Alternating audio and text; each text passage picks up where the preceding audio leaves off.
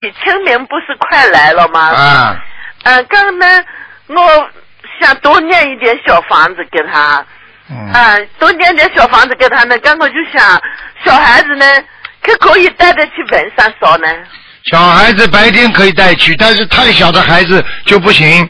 啊，不是大人，都是大人。啊，大人没问题的，嗯，小孩子十多岁是十二岁的可以去吗？可以，十二岁以上。